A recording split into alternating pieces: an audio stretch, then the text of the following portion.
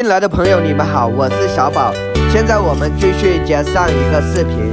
隔壁村的那个老奶奶跟我说，这个荒废的鱼塘里面有很多的大黑鱼、大蛇鱼，就是你们所说的那种大大黑鱼。你们看，这边还有一条鳝鱼。我们在这边发现了有一窝的甲鱼在这个洞里面。现在我们就用这个锄头来挖。那个老奶奶跟我说，以前她在这个荒废的这个鱼塘边上洗菜的时候，看到这个荒废鱼塘里面有一只特别大的大甲鱼，她说有大罗盘那么大，她说应该有个几百斤，但是现在我们还是没有见到那只几百斤的大甲鱼。我们在这边发现这个洞里面有一窝的甲鱼在这个洞里面。我们稍后必须把这个洞里面的甲鱼全部挖出来，